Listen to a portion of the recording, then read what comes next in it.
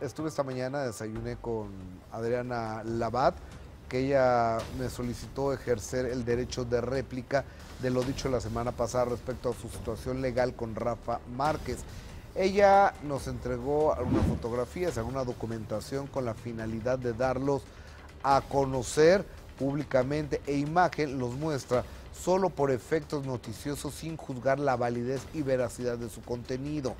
Esta mañana, lo primero que estamos viendo, ella me, me dice que han sido tres juicios para quererle eh, bajar la pensión alimenticia, que la primera fue en 2008 en Barcelona porque ella eh, obtuvo un trabajo.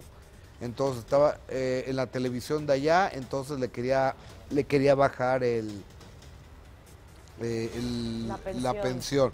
Que el segundo fue en el 18 de diciembre de 2012 en Nueva York porque había salido del Barça y estaba en un eh, equipo de allá de Estados Unidos. En- entonces que ganaba menos, entonces le quiso bajar la, la pensión. Y que la tercera fue en Miami, que también quiso Rafael Márquez ba- bajarle, bajarle la pensión. Después, cuando sucedió el asunto de que al jugador Rafael Márquez lo involucran con un narcotraficante, el Departamento del Tesoro de Estados Unidos, en agosto de este año me parece que fue, ella le manda un correo electrónico donde le pone, aquí estoy, estoy, o sea, y, y vamos a salir adelante de esto y demás. Y en noviembre de este año tienen una, una comunicación, todo, todo me lo enseñó, ¿eh? todo, eh, a, tra- través de Puedo ver las fotografías para que vean que sí vi a Adriana, Adriana Laval, porque sí, yo creo que sería importante. Incluso me tomé fotografías, no por ser fan de Adriana, sino para pues, dejar claro que me reuní con ella, Claro, ¿no? para comprobar la reunión. Pa- para, para comprobar fue aquí en Plaza Oasis. Ah, ahí estamos. Ah, ahí estamos. Y bueno, en noviembre, no, en octubre de este año le mandan una carta de la escuela, eh, a, a esto con Laura Flores, que es la chica del lado izquierdo de lentes, que es la productora de este programa.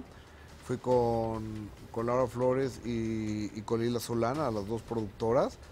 Digo, porque íbamos a entrar en un tema, en un tema legal y yo quería que hubiera pues de entrada testigos, ejecutivos de la empresa y que dieran testimonio de, de este asunto, ¿no? Bueno, en noviembre, en octubre de este año hay una comunicación entre Adrián Labat y Rafael Márquez donde le dice que, oye, me están mandando esto de la escuela, que a la niña la van, ya no la van a admitir. Entonces Rafa Márquez, el 5 de octubre, le dice, eh, no, voy a, no voy a pagar nada hasta que no firmes el nuevo acuerdo para volverle a bajar la pensión, según me dice. Luego sobre las propiedades, que mi compañera Mona Noguera dijo aquí, dice, te lo voy a explicar rápidamente. Cuando yo me caso por la iglesia con Rafael Márquez, él me regala una casa al sur de la Ciudad de México en Jardines de la Montaña, misma que me regaló de bodas. Después yo la vendí y con esa casa que vendí di un enganche de una casa en Miami. Esa casa la estoy pagando a 30 años e incluso tengo dos meses que no pago la mensualidad e incluso me la pueden hasta quitar.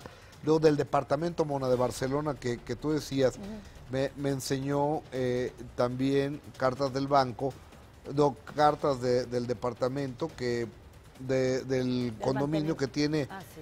que tiene no sé cuántos años de no pagar el mantenimiento, creo que 12 años, de 12.700 euros ¿Se deben? de, de mantenimiento.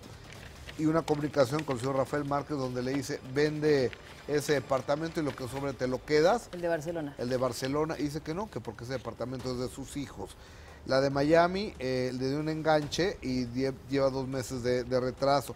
De la camioneta blindada Suburban que, que se comentó aquí, llegó en Uber ella y me enseñó los Ubers que ha tomado últimamente, que anda en puro Uber. Y que eh, dice que esta situación ella no la provocó, ni esa actuación, que eso es una realidad, la realidad de su vida, dice Adriana Labat, y que quisiera no estar en esta situación y, y te manda te manda ese mensaje a ti, Sí, Mo- no, Mona. yo sé, obviamente ninguno de ellos quiere, no, me imagino que debe ser, ¿no? Doloroso aparte. Eh, mira, te digo, Gus, Ale y al público, eh, si dije alguna información errónea, en todo este caso con Adriana Labat, eh, le ofrezco una disculpa, por supuesto, y ojalá y todo termine en paz. Claro, que se llegue a una solución pronto, ¿eh? Ah, así es, esta mañana me reúno con ella, aquí está eh, el asunto y bueno, estoy seguro que esto seguirá dando mucho de qué hablar. Cambiamos de tema, Mona.